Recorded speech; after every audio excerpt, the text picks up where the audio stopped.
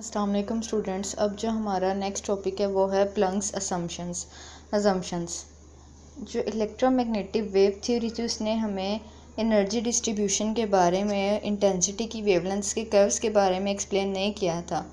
तो उसको जो एक्सप्लेन किया था, वो 1900 में किया था। किसने किया था? मैस मैक्स प्लंग ने किया था। ठीक है?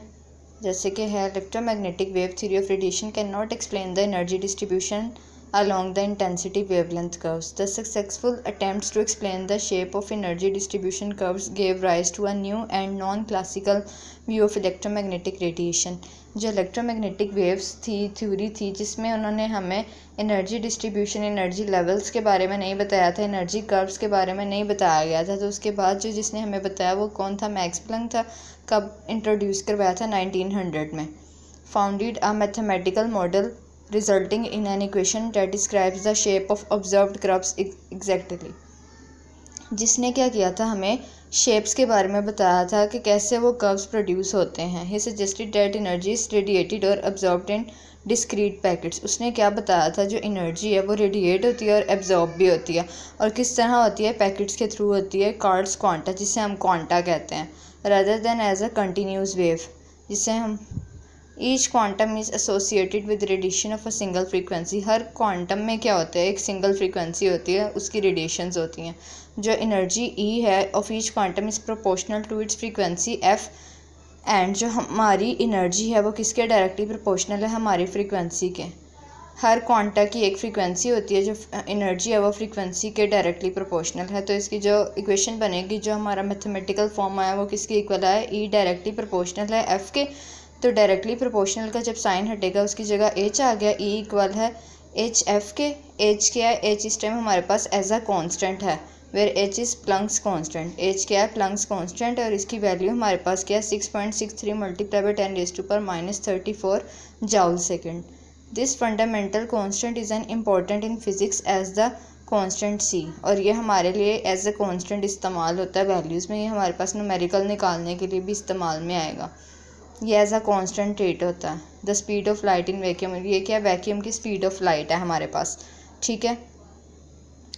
Max Planck received the Nobel prize in physics in 1918 for his discovery of energy quanta और इसकी वजह से जो मैक्स प्लंग को था, एक नोबल प्राइज़ भी मिला था फिज़िक्स के तौर पर, वो कब मिला था? 1918 में मिला था, और जबकि ये थ्योरी जो थी, वो कब इंट्रोड्यूस हुई थी? 1900 में इंट्रोड्यूस हुई थी, जिसने हमें एनर्जी डिस्ट्रीब्यूशन के बारे में बताया था कि एनर्जी जो है, वो किस तरह डिस्ट्रीब्यूट होती है क्वांटम्स के तौर पर और हर क्वांटम की एक अपनी फ्रीक्वेंसी होती है और जो उसकी एनर्जी है वो उसकी फ्रीक्वेंसी के डायरेक्टली प्रोपोर्शनल होती है। सेकंड क्या है? Photon Planck suggested that as a matter is not continuous but consist of a large number of tiny particles उसने क्या कहा था? जो मैटर है वो एक कंटिन्यूस नहीं है। ठीक है? It's not continuous but consist of large number ये बहुत ज़्यादा टाइनी पार्टिकल से मिलकर बना है। So is the radiation energy from a source he assumed that granular nature of radiation from hot bodies was due to some property of the atoms producing it जिसने कहा था, जो हॉट बॉडीज़ हैं, वो जो किस वजह से प्रोड्यूस होती हैं, वो एटम्स की वजह से प्रोड्यूस होती हैं। Einstein extended his idea and postulated that packets of tiny bundles of energy are integral part of all electromagnetic radiation and they could not be subdivided. These individual tiny bundles of energy he called photons energy क्या है? एक bundles के तौर पे, एक packets के तौर पर जो प्रोड्यूस होती है, जो एक एक जगह पे इकट्ठी हो जाती है, जो एक जगह पे अपने बंडल्स बना लेती है। उस एनर्जी को क्या कहते हैं? बंडल्स ऑफ़ एनर्जी को कहते हैं फोटॉन्स कहते हैं।